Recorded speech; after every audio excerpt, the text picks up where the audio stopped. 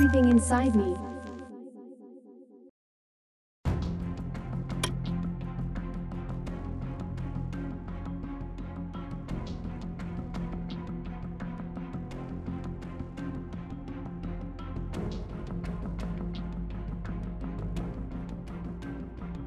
When order really starts breaking down in this country, we know exactly what is going to happen.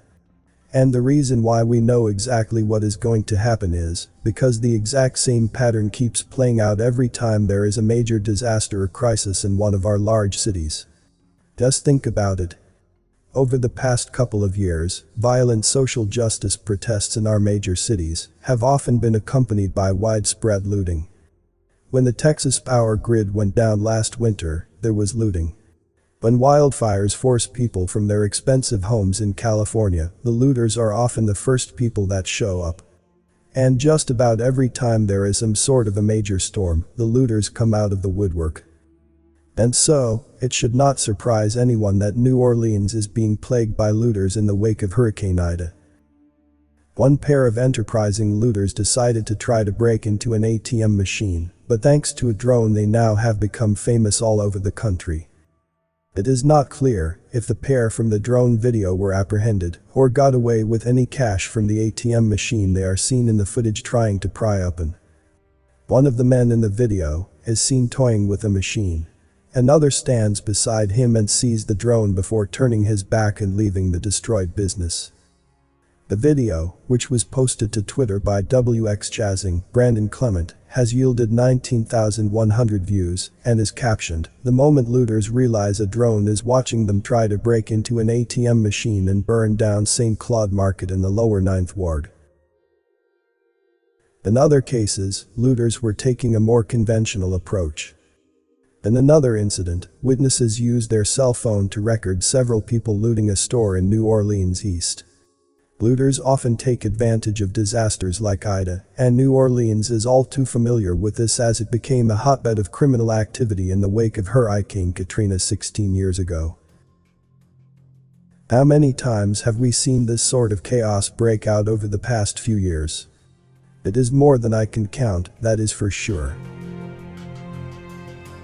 Before I continue the video, please give a like if you've learned something. And, don't forget to subscribe, and also, click the notification bell too, so you won't miss any update. And, watch to the end to avoid misunderstanding. Thank you. On Tuesday afternoon, authorities in New Orleans pledged to do their best to try to deter mass looting. New Orleans Mayor Latoya Cantrell and Police Superintendent Shaun Ferguson held a press conference Tuesday afternoon at City Hall regarding a citywide curfew to deter mass looting and an update on the power situation. Cantrell told reporters, effective immediately, 8 p.m. local time, a citywide curfew will be enforced until 6 a.m. Wednesday. New Orleans Police Department, NOPD, has deployed an anti-looting task force with National Guard members to protect business districts. Sadly, virtually every major city in America is just one major crisis away from a total breakdown of law and order. And when a truly nightmarish national emergency strikes, law and order will break down all over the country. Our blood-soaked culture has become increasingly violent as moral standards have deteriorated across our land, and in many of our core urban areas brutal cold-blooded attacks by groups of heartless criminals have become way too common. The particularly vile attack that happened in Chicago the other day is a perfect example of what I am talking about. The video, first posted by the crime website CWB Chicago, initially shows three men beating up another man as traffic crawls past. Another man walks by and is sucker punched and falls to the pavement. The group keeps attacking the other man until both are down on the pavement. The attackers then rummage through their pockets, walking with a bag shoes and other items, the video shows. Women dance in the street while people appear to record the fight.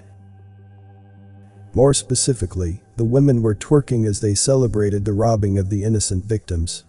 If hearts are this cold already, what will things be like when economic conditions get really bad in this country? Yes, there are still millions of Americans out there that try to respect the law, but there are also lots and lots of really twisted people out there. Just today, I came across a news story about how hundreds of decapitated goats have been getting dumped into the Chattahoochee River. Channel 2 Action News is investigating headless goats found floating in the Chattahoochee River. Someone has dumped hundreds of decapitated goats over the past few years. Channel 2's Dave Huddleston cruised up the Chattahoochee River with Jason Ulseth, who works for the environmental group the Chattahoochee Riverkeeper. More than one person has got to be involved in this terrible crime, because on one recent Friday, a total of 30 decapitated goats were found in the river.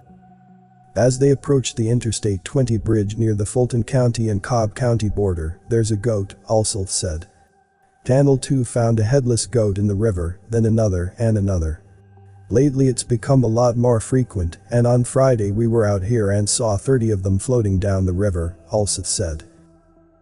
Why aren't CNN and the other big networks covering this story? You would think that something like this would be good for ratings.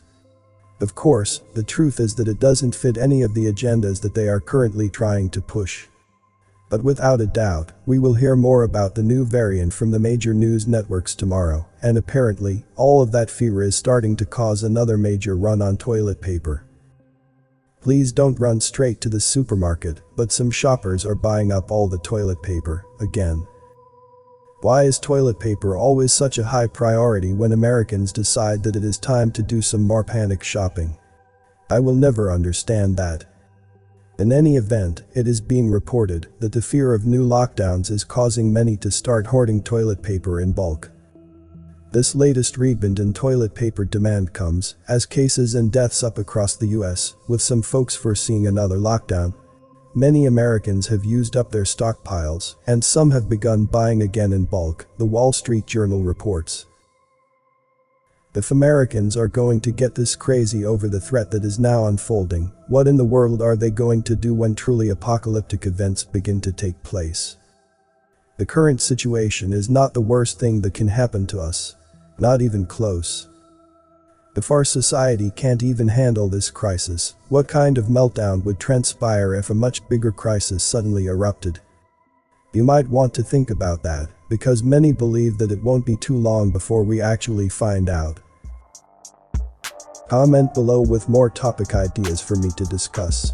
As a lot of care and hard work goes into this, likes and subscribe, let me know I'm doing a good job. All is appreciated greatly. You may not agree with everything from the content I post. Apply critical thinking and use discernment to come to your own conclusions regarding the content. Thanks for watching this video. This Everything Inside Me channel, see you on the next video. Stay safe and healthy.